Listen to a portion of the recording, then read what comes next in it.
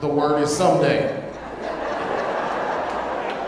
Sopranos, here we go. Someday, someday, someday, someday again, someday, someday. Uh huh. Altos, where are you? Stand up. Stand up, Altos.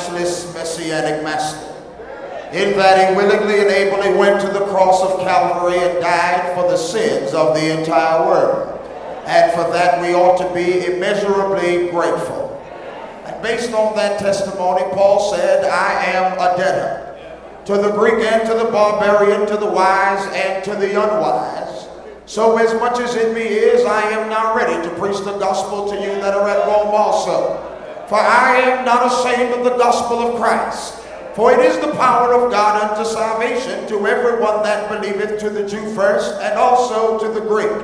And so it is that Paul passed the baton to his son Timothy and told him, I charge thee, therefore, before God and the Lord Jesus Christ, who shall judge the quick and the dead at his appearing and at his kingdom. Preach the word, be instant in season, out of season. Reprove, rebuke, and exhort with all long suffering and doctrine. For the time will come when they will not endure sound doctrine. But after their own lust shall they heap to themselves teachers having itching ears, and shall turn away from the truth and shall be turned unto fables. But watch thou in all things, endure affliction, do the work of an evangelist, make full proof of thy ministry. For I am now ready to be offered in the time of my departures at hand. I have fought a good fight. I have finished my course, and I've kept the faith. Henceforth there is laid up for me a crown of righteousness, which the Lord the righteous judge shall give me at that day. And not to me only, but to all them that love is appearing. And so we have come to do nothing more and nothing less than to preach the unadulterated gospel of Jesus Christ and to tell it like it so enough is. We're grateful to see all of you here on tonight, and we hope and pray that somebody is here that wants to receive with meekness the engrafted word which is able to save your souls. We do not believe that the Bible contains the word of God. We believe that the Bible is the word of God. For the Bible says all scripture is given by the inspiration of God. And it is our hope and prayer that you will obey the gospel before it is everlastingly too late. I'm certainly grateful to see all of you here on tonight, and I hope and pray that someone uh, that is visiting with us uh, will not leave here until you've put Christ on in baptism for the remission of your sins. We have certainly had a great time already, and this meeting has already been a success on the basis of those who have already given their life to Jesus the Christ. I commend all of these brothers for, the, for a job well done. Uh, they have certainly worked hard and diligently uh, to make this a success. And certainly we are absolutely grateful. Now, of course, I want you to turn with me to Matthew chapter 6. Matthew, the sixth chapter. That is the gospel according to Matthew.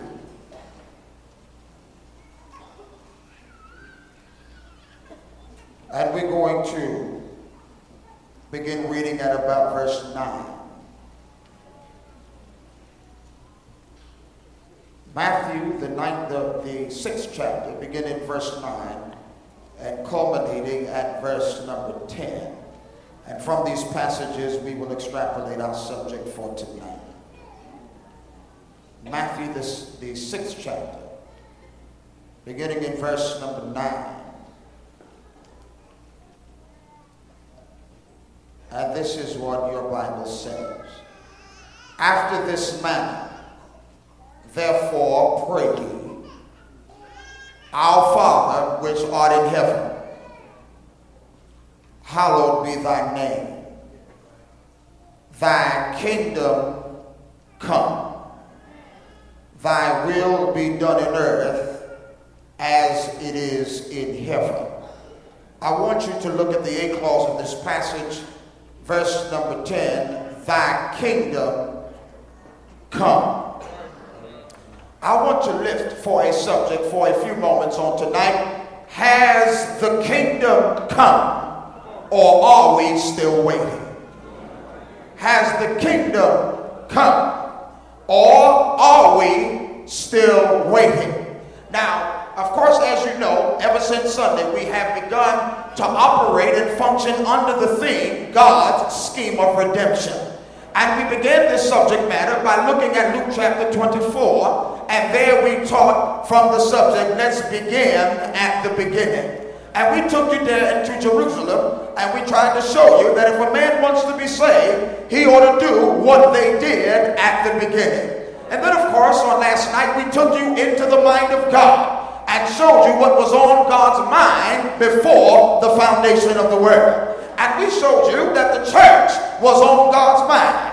For the Bible says, For whom he did foreknow, he did predestinate to be conformed to the image of his dear Son, that he might be the firstborn among many brethren. And then the Bible says, Whom he did predestinate, them he also called. Them that he called, them he justified. And them that he justified, them he also glorified. And we showed you what you saw last night was God's scheme of redemption from eternity to eternity. That is, we looked at what God planned in his mind, and Romans the 8th chapter gives you a synopsis of the entire scheme of redemption. But on tonight, we want to look at God's scheme of redemption from a different perspective. And that perspective is we want to look at God's scheme in regards to the establishment of the kingdom of God. In God's scheme, God had planned to establish the kingdom. And I want you to know on tonight that if a man plans to be saved, he must be in the kingdom of God. If he is not in the kingdom of God, he will never go into the presence of God the Father. I would have you to understand on today that I am going to prove that God's kingdom was established on the first Pentecost after the resurrection. Now, there are those who would take the position that God's kingdom had not been established. As a matter of fact, there are those who teach that the kingdom of God is going to be established at the second coming. I would suggest to you today that that's absolutely false doctrine. And not only is that false doctrine, I want to give you a proposition on tonight, being resolved that the Holy Bible teaches that the kingdom God was established on the first Pentecost after the resurrection. And if a man wants to be saved, he's got to get in that kingdom. Now, not only am I going to prove that the kingdom was established on the first Pentecost after the resurrection, I also want you to understand that the kingdom is the church of Jesus Christ. I said the kingdom uh, is the church of Jesus Christ. And before this lesson is done, I want you to see the very same thing that puts you in the kingdom. That's exactly what puts you in the church. I said the same thing that puts you in the kingdom. That's exactly what puts you in the church because they're the exact same thing. Two different ways of describing the same entity. So I want you to know on tonight that God's kingdom has in fact been established. How do you know, Brother Heyward? Well, when we're talking about the word kingdom, the word kingdom describes the rule and the dominion of God. But in spe- specifically, what we want to show is God's rule over the hearts of all believers. That's the kingdom of God that I'm talking about on today. And been established, and a man's got to get in the kingdom if he plans to be saved. Now, if you're visiting with us on tonight, I want you to listen carefully because at the conclusion of this sermon, I want you to get in the kingdom of God. Because if you don't get in the kingdom, you are never going to be saved. Well, what is the kingdom? It is a Greek term, basileia, and it means the rule of God. When did God establish his rule over the hearts of all believers? Well, I want you to turn with me to Daniel chapter 2. Uh, Daniel chapter 2, uh, and I'm going to summarize this, of course. At Daniel chapter 2, uh, I want you to meet me in verse 44 because I want to make an argument here in regards to when the kingdom of God has been established. Because it's been established, and we in the kingdom of God. I said we in the kingdom of God. There's no question about that. Uh, we are in that kingdom. We're not waiting for the kingdom. We in the kingdom. And when Jesus comes back, he's going to deliver up the kingdom. Are y'all following me on today? He's not coming back to establish a kingdom. When he comes back, he's going to deliver up the kingdom. I'm going to prove that in just a minute. Now, uh, in the context of the book of Daniel, uh, from verse 31 through 35, I want you to understand King Nebuchadnezzar sees a vision of a image. Daniel the prophet is going to explain uh, this vision. And many of you know uh, that King, King Nebuchadnezzar in the vision represented the head of gold, which was the Babylonian kingdom. And then, of course, in this vision, he sees a head of gold, arms of silver, uh, the middle and thighs were bronze, and the feet were of iron mixed with clay. This was the vision that Nebuchadnezzar seen. Daniel begins to interpret this vision. He says, O king, you are the head of gold. But then there would be another kingdom that would arise after the Babylonian kingdom. This would be, praise God, the Grecian kingdom. And then the Medo, or rather, excuse me, the Medo-Persian kingdom, Grecian kingdom, and then there would be the Roman Empire. This is the vision. Now, when he sees the vision and Daniel begins to interpret the vision, he actually sees four kingdoms. Babylonian kingdom, Medo-Persian kingdom. He sees the Roman Empire, the Grecian kingdom, and the Roman Empire. And then in verse 44, he says what? And in the days of these kings, Uh, in the days of these kings shall, the God of heaven do what? He's going to set up a kingdom. Read. shall never be destroyed. Now listen to me, church. Whenever a prophet gives a prophecy, the prophecy must come to pass according to the circumstances stated by the prophet. Otherwise, he's a false prophet. If the prophet gives circumstances in which this thing is going to happen, that thing has to happen according to the circumstances stated by the prophet. If it doesn't happen according to the circumstances stated by the prophet, then that person is a false prophet. Are y'all following me on today? So what we need to look for is what are the circumstances in which the kingdom of God is going to be established. Well, the circumstance is in the days of these kings. Are y'all following this so far? Now, in the days of these kings, it makes this prophecy what we would call a time prophecy. What do you mean a time prophecy? That means that the prophet establishes that this thing is going to happen at a specific period of time. Now listen to me carefully. If you take Daniel 2:44 and apply it to a time frame other than what the prophet stated, that's called an anachronistic interpretation. Now, anachronistic means you've taken the prophecy out of the time frame that the prophet said the thing is going to happen. So, whenever you take a prophecy out of the time frame in which the prophet said it would happen, that is an anachronistic interpretation. Simply means you took the prophecy out of the time frame. Now, what's the time frame of this prophecy? In the days of these kings. Now, he just mentioned four kingdoms. Babylonian kingdom, uh, Medo-Persian kingdom, Grecian kingdom, Roman kingdom is the last one mentioned. He says the Roman kingdom, he doesn't call it the Roman kingdom. I'm going to prove it's the Roman kingdom. I know it's the Roman kingdom. I'm going to prove it in just a minute. He says they're mixed with iron and clay, which means the kingdom was partly weak and partly strong. He says in the days of these kings. Well, what kings was these kings? It would be during the kings that ruled in the Roman Empire.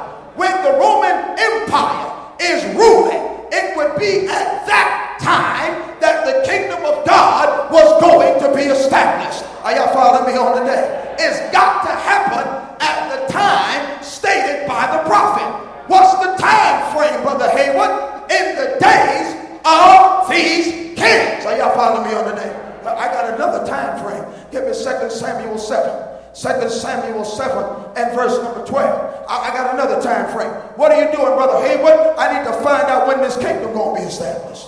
Because if we got if we don't find out when the kingdom's going to be established, praise God, it's hard for me to tell you to get in the kingdom if the kingdom ain't here. So first I got to prove that the kingdom's here. Then you got to get in the kingdom that's here if you plan to go there. Are you following what I'm saying on tonight? All right. Well, you got to get in the kingdom. Watch the time frame. Second Samuel 7, verse 12 says What? When thy days be fulfilled, When the days be fulfilled. shalt sleep with thy fathers. Time frame.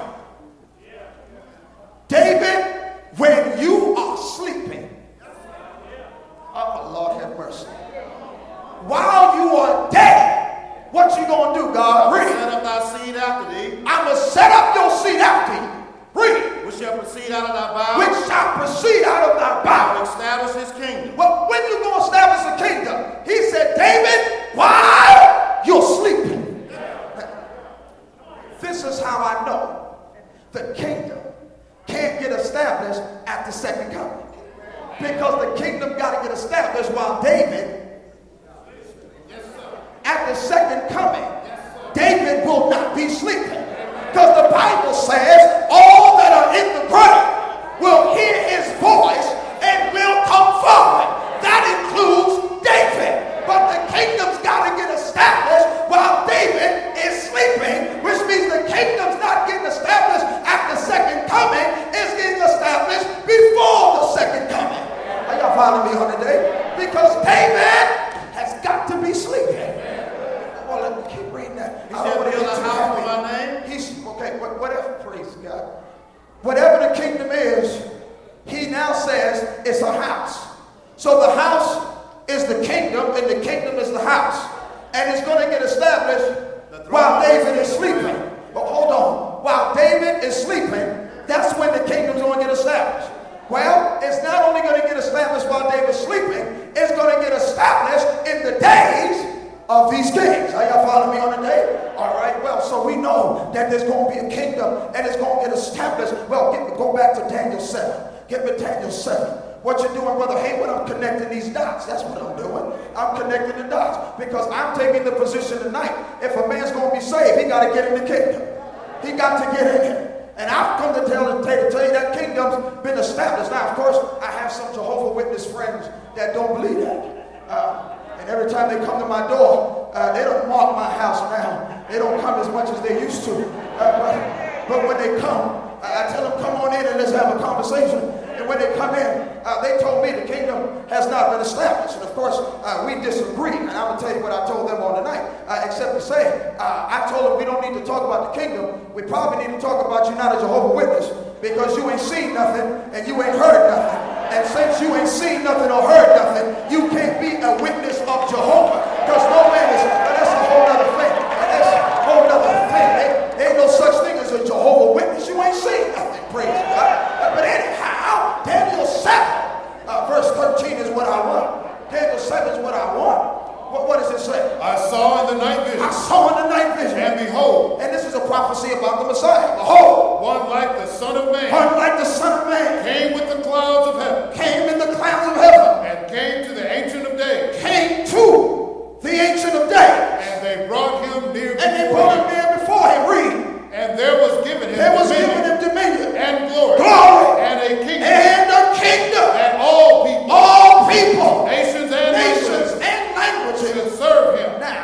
Watch this prophecy. The Bible says, I saw in the night vision one like the Son of Man watching, coming to the Ancient of Days. Jesus, the Messiah, I'll prove it, is not seen in this verse as going to establish a kingdom. He's seen as coming to God and receiving a kingdom. Are y'all following this on today? So this prophecy cannot be in reference to Jesus' second coming. Because at the second coming, Jesus is not coming to establish anything.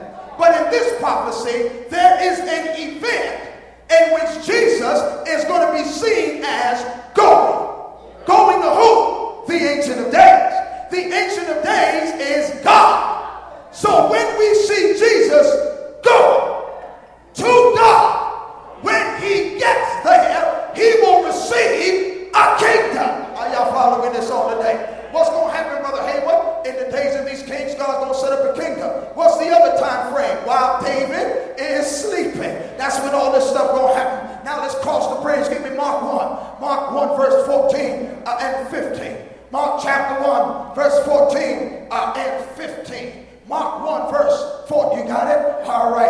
Uh, why don't you go to Luke 1, verse 31 and 32. Now, uh, uh, Mark chapter 1, verse 14, 15. Watch the text. Read. Now after that John was put in prison, After John was put in prison, Jesus came into Galilee, Jesus came into Galilee. preaching the gospel of the kingdom of God. He's preaching what? The gospel of the kingdom of God. Preaching the gospel of the kingdom of God. Read it. And saying, What did he say? The time is The fulfilled. time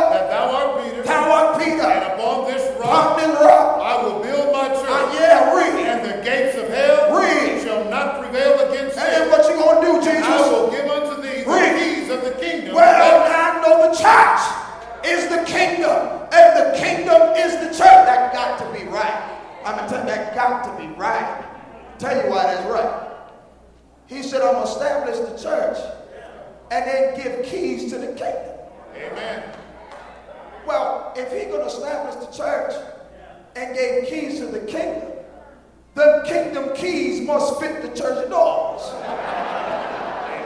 Otherwise, Peter is the greatest burglar in town. It's got to be the same thing.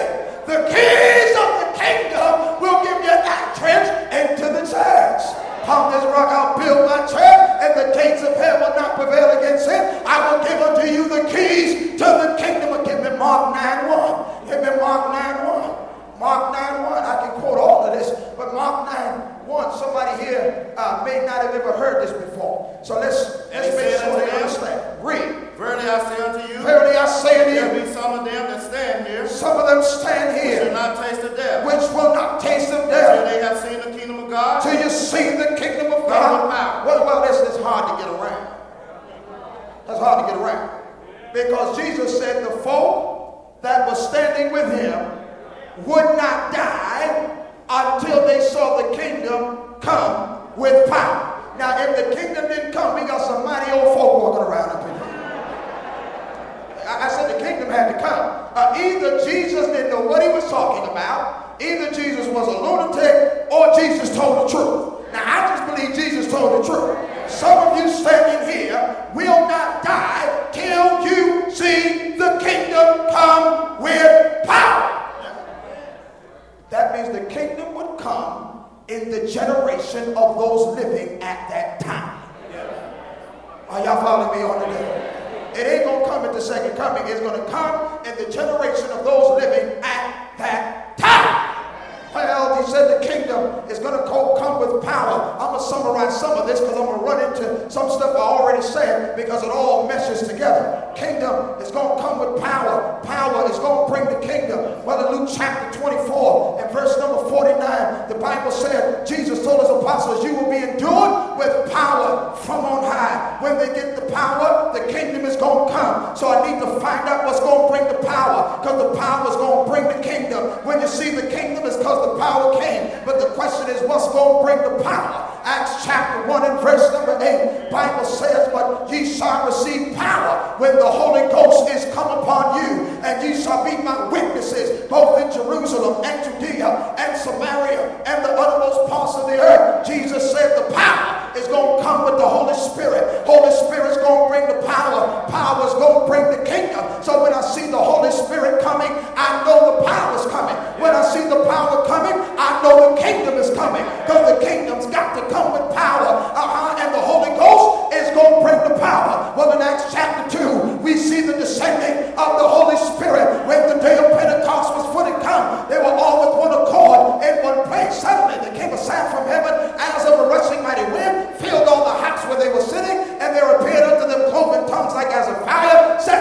each of them, they were all filled with the Holy Ghost. I've come today to tell you, when the Holy Ghost came, the power came. Now the kingdom is about to be established. Well, the kingdom can't be established until Jesus gets some subjects. Well, you get, in order to get the subjects, he had to preach the gospel of Jesus Christ. Peter told those folk, repent, be baptized,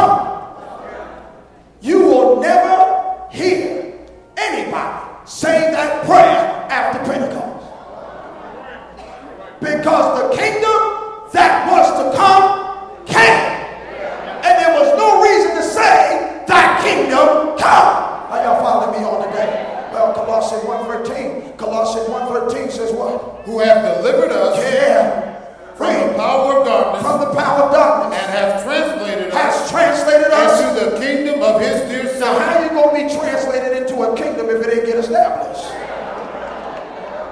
Paul said we ain't waiting for it to come. I'm in it now. Are y'all following what I'm saying? Translated into the kingdom of his dear son. So that means every child of God who has obeyed the gospel is in the kingdom of God. Because the kingdom has, okay, 1 Corinthians 15.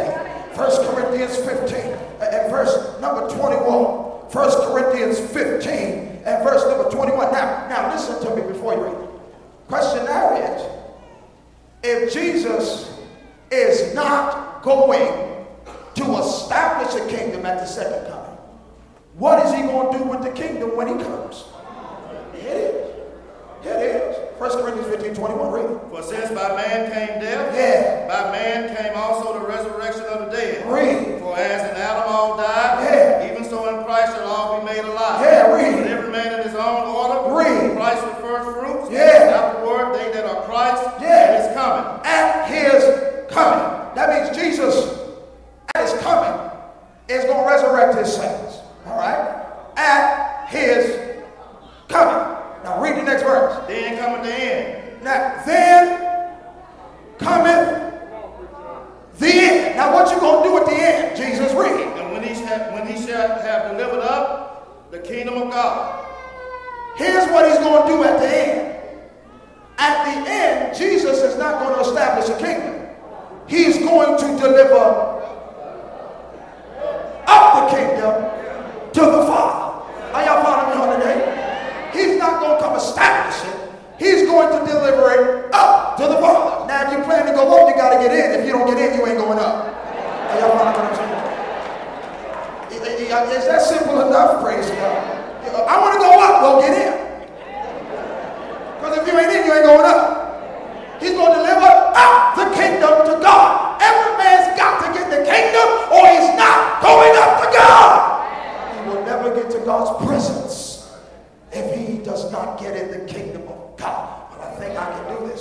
John 3. I said I wasn't going to do it, but I'm going to do it. Get me John 3. I think I can do it. I think I can do it. I think I can do it. I was trying not to preach too long is what it was. But y'all all right? Okay. John 3, verse 3. I, I, I think I can do this. John 3, verse 3. Now you know the kingdom's established. If you're visiting with us tonight, you know now that the kingdom's established. There is no kingdom going to be established. It's established right now.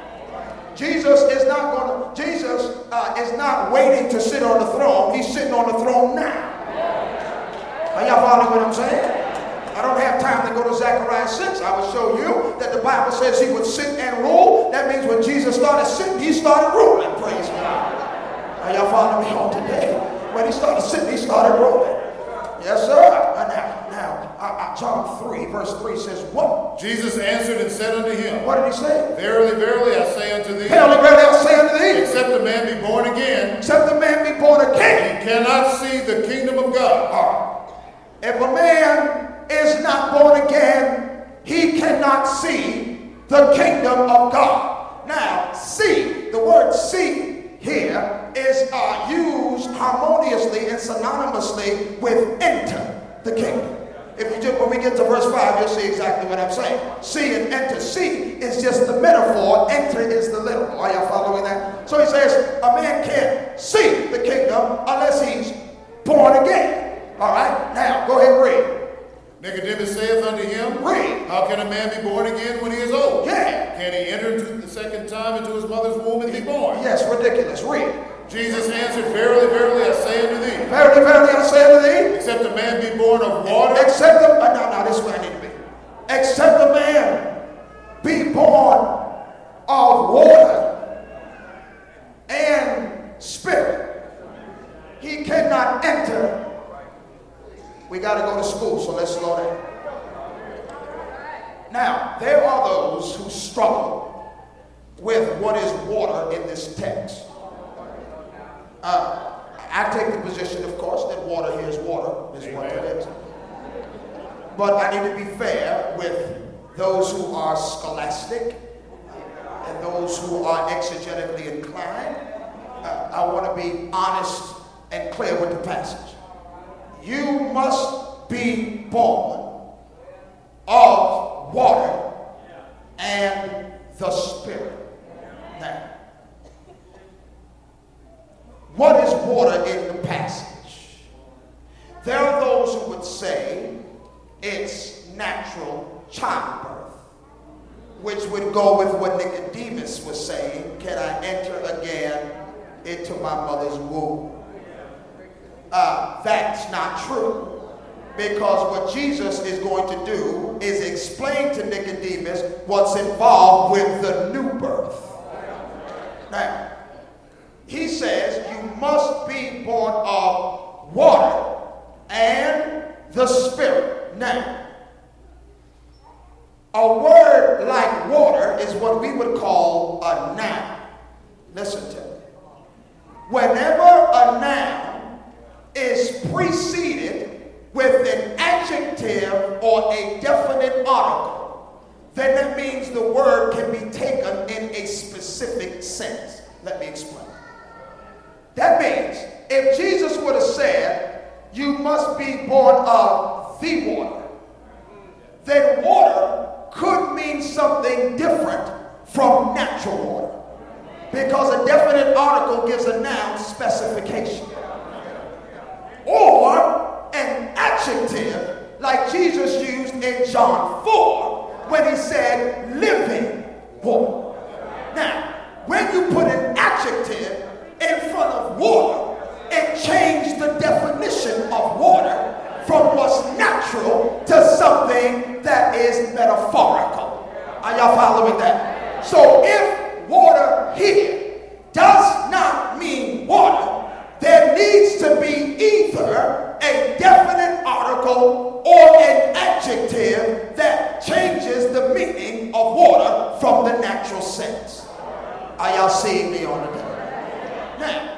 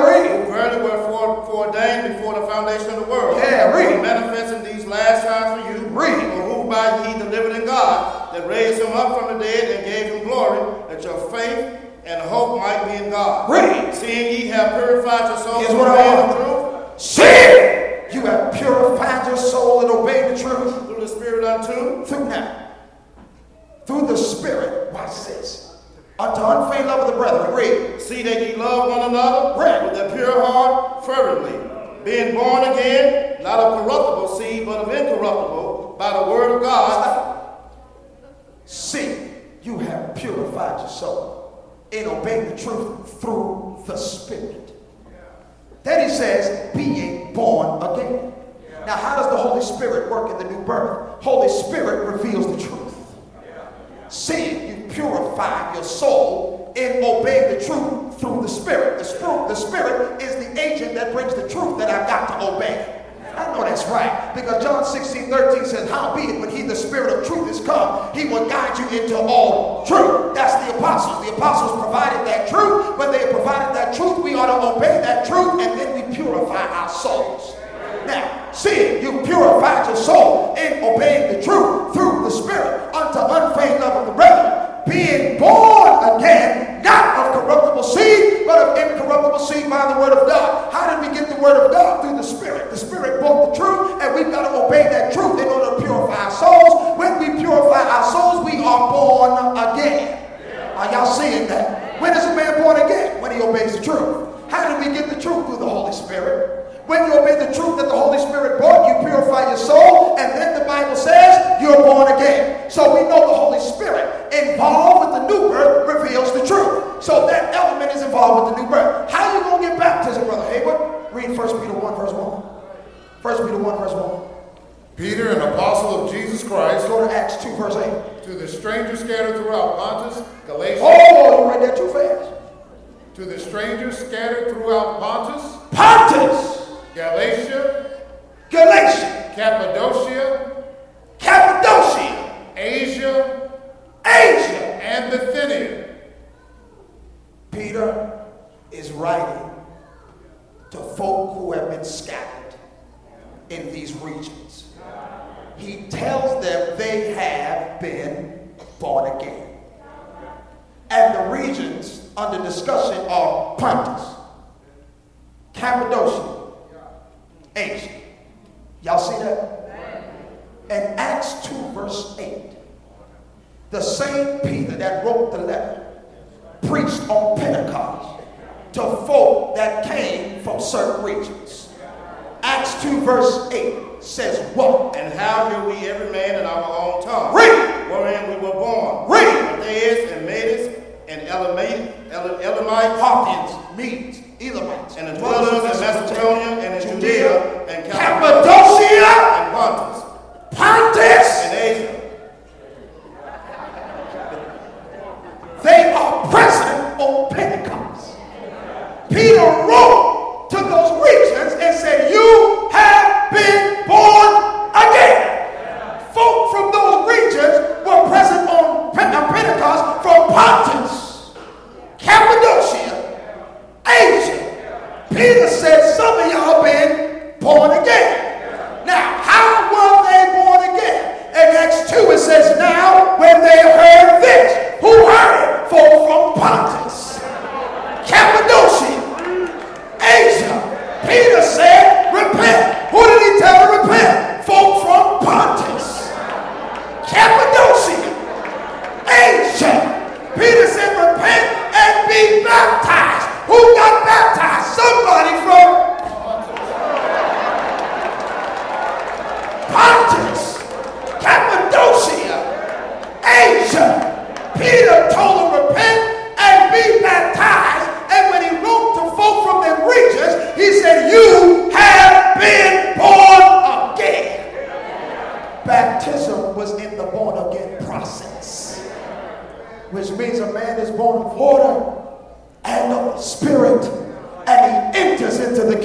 God. And First Peter, he wrote to folk from Pontus, Cappadocia, Asia, and he told them they were born again. And then the Bible in Acts 2 tells you exactly how they got born again, and it culminated with water baptism. And it, that's all it takes for you to get in the kingdom of. You ain't gotta have a fit. You ain't, ain't gotta hurt yourself. Praise God. Give me Acts 8 12. Uh, how, what, how does a man respond to the preaching of? I tell you. Acts 8 12. I tell you, Brother Heyward, you don't preach the kingdom. Now, what you want me to do? I'm going to tell you. I'm going to tell you. I'm going to tell you right now. Acts 8 12. Acts 8 12. What does it say? But when they believe Philip When they preaching the things concerning the kingdom of Uh, God, when they believe Philip preaching the things preaching the things, concerning the kingdom of God, read in the name of Jesus Christ, what happened. they were baptized. Now, when you hear the preaching of the kingdom and you believe it, your response should be to get baptized. Are y'all following me on today? When they believed Philip preaching the things concerning the kingdom of God and the authority of Jesus Christ, they were baptized. And I've come today to tell you it's just a matter of do you believe in the authority of Jesus Christ? I believe in the authority of Jesus Christ because every prophet pointed to him and said that he would come and this person would have all authority. I don't know about you, but pastor, so-called pastor, all not have more authority than Jesus. I don't know about you, but no jack-leg preacher ought to have more authority than Jesus Christ. The one who's got all authority is the man named Jesus. All the prophets pointed to him, apostles pointed back to him. I've come today to tell you that Jesus was the one that would come, that would have all authority. Genesis chapter 3 and verse 15. I will put enmity between thee and the woman, between thy seed and her seed. It shall bruise thy head, thou shalt bruise his heel. Genesis chapter 49 and verse number 10. Scepter shall not depart from Judah, neither the Lord give up from between his feet until Shiloh come. Isaiah chapter 7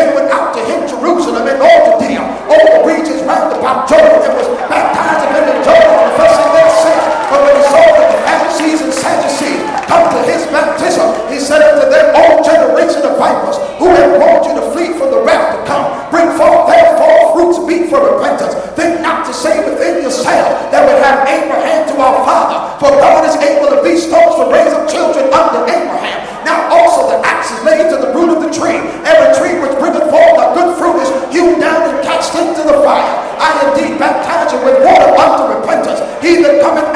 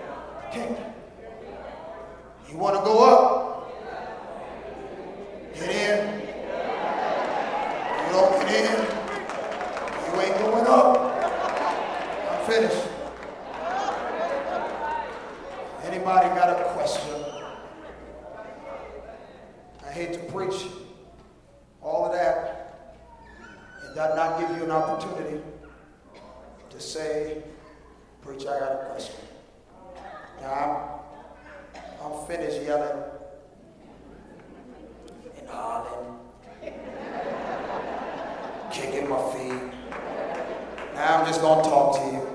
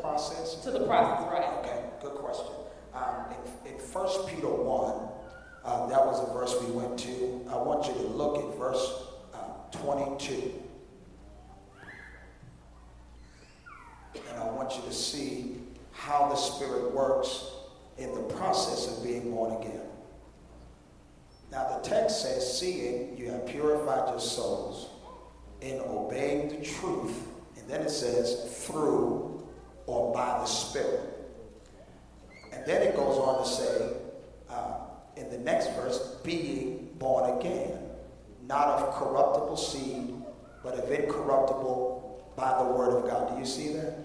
Okay. Now, the Holy Spirit, in the process of being born again, according to those two verses, it says we purified our souls in obeying the truth. You see that? And then it says through the Spirit. Now, the way you obey the truth through the Spirit, number one is the Spirit revealed the truth through the apostles. Okay? Now, I'm going to explain that. In John 16, 13, you don't have to turn there, you stay there. He'll read it for you. John 16, 13. I want you to understand that the Holy Spirit brings you and I the truth through the Holy Spirit, but it's by the apostles. The reason I know that is because of what I'm going to read now. In John 16, 13, it says what? Howbeit, when he, the Spirit of truth, is come, he will guide you into all truth. Okay. In John 16, really starting in verse, uh, really starting in chapter 13, the context is dealing with the apostles. Jesus is about to go back to glory. He's going to resurrect from the dead. And then he promised, I'm going to bring you, I'm going to bring you the Holy Spirit. And he says in this verse, the Holy Spirit will guide you into all truth. Now, that's not you and me. Every you in the Bible is not you. Every you in the Bible is not me. We have to understand in the context who is the you. The you is the apostles. Okay? Now, the reason that don't apply to you and me is because he says he would guide them in all truth. John 14 says he would bring it back to their remembrance. Now, ma'am, I can quote a lot of scripture, but I forget them too. If I had the guidance of the Holy Spirit, I wouldn't even need my Bible. I wouldn't even, because I would be guided by the Holy Spirit. You follow me? Because that's miraculous. Holy Spirit guides the apostles in all truth, in which they didn't do what we did. They didn't have to read it, they could speak it. Okay? So the apostles received the Holy Spirit for the purpose of bringing you and me the truth written down in the Word of God. Okay? Now, First Peter, they reveal the truth of the gospel. The apostles did. So the text says, seeing you purified your soul and obeying the truth through the Spirit. What did the Spirit do? The Spirit brought the truth. Are you following that? All right? So the Spirit brings the truth for you and me to obey. Seeing you purified your souls in obeying the truth through the Spirit. That Spirit brought the truth through the apostles.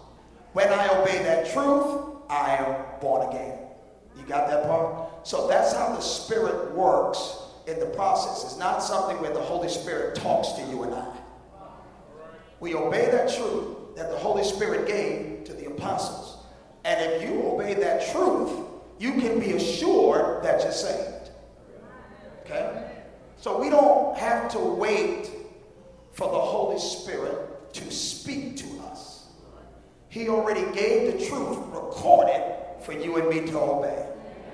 Yeah, does that make um, some sense? Good. So that's how the Spirit works in the process. So we're born of water, which I showed in Acts 2, ends up being baptism. And the Spirit is the one, or He is the one who revealed the truth for me to obey. Does that, does that make sense? All right, you got another one. How you feeling? Huh? You fired up? All right.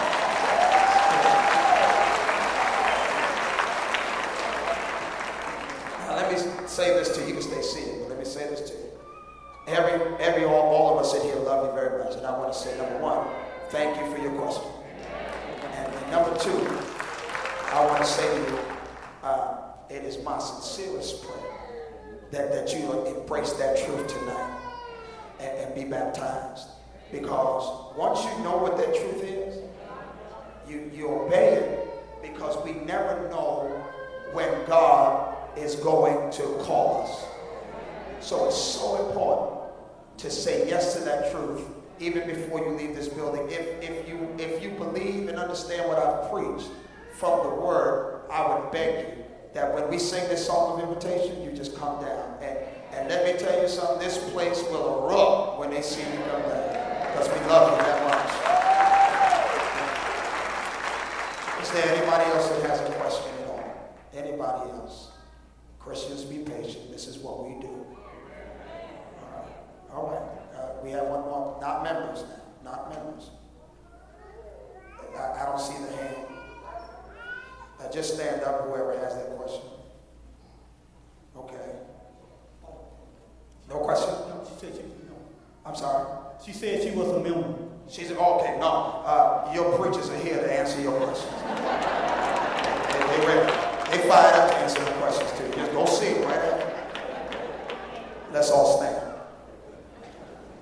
Now, before we start singing, before we start singing, let's all stand. Nobody, please don't don't leave till we finish the invitation, please. These these campaigns are supposed to be about souls. This is, this is, uh, I was just talking to Brother Osborne earlier, and, and, and, and the only kind of events that I like doing are events that are purpose driven. This is purpose driven for saving souls. That puts me right up my alley. So let's respect uh, the invitation. Now, those of you who are not members, you're here visiting, you've heard the word, you've heard about this kingdom, you've heard about this church, and, and you've heard about this church that Jesus built. It's not a denomination, it's not some kind of fraternity, it's God's spiritual body, which there is only one, and you need to get in that kingdom tonight. Now, here's what we're going to do we're going to sing the song of invitation. When we sing, this is our personal way of encouraging you to step forward. Because we love you so much. So when we're singing, it's our way of asking you to, to come forward and say yes to Jesus. So when you start hearing that song, you just come out these aisles and the person who brought you will walk with you. You don't have to walk by yourself. If somebody brought you, they'll walk with you. If nobody brought you, a member will still start walking with you. And when you come down, we're going to ask you one question. Do you believe Jesus Christ is the Son of God? And if you say yes and you affirm that, we're going to baptize you tonight for remission of your sins. Uh, you- you- do, do, do I need clothes? Uh, we got clothes. You need, we, my, just got my hair did, got caps. I know, have you got your hair done? Back in Atlanta, we say did. Got your hair did, got caps, all right? And we've got qualified people who will, who will take care of you tonight, and you can leave here with some joy. And let me say something to the members of the body. When folk get into church, don't kill their joy. Don't kill joy. Don't start coming up with new rules that God never about. Let them have the joy of salvation. I want to tell you a quick story. Quick story. Quick story. I was preaching in Los Angeles in a, in a, in a gospel meeting, and I was at a congregation, and I started preaching hard. One church, baptism is essential. Going right down the line. And this guy on the front row started going, preach, preacher. Yeah. And I said, oh, that ain't no member. Let me, let me work a little hard here. because That can't be member. Too much joy for that to be a member. So I said, no, that ain't a member. And then I, I said, and, and praise God, uh, uh, if, if your church is not in the Bible, you got to come out of that church. Preach, preacher. And the guy was just excited. And I said, what's something wrong? And I said, you got to go down in the water. Because baptism's remission of sin. Preach, preacher. And then I, so I said, man, I done shot all my bullets. I ain't got nothing left. I went back, closed out, and I went to the preacher. I said, listen, Doc, I I don't know who that was, but uh, I, uh, I tried everything. He's shouting on the truth. I don't know what's going on. He said, oh, sir, I didn't tell you. We just baptized him and his whole congregation. He's a former Baptist preacher. And he can't stop shouting on the truth. Once he found the truth, he just got happy. Let me tell you something. Folk find truth, don't kill their happiness. They used to shout in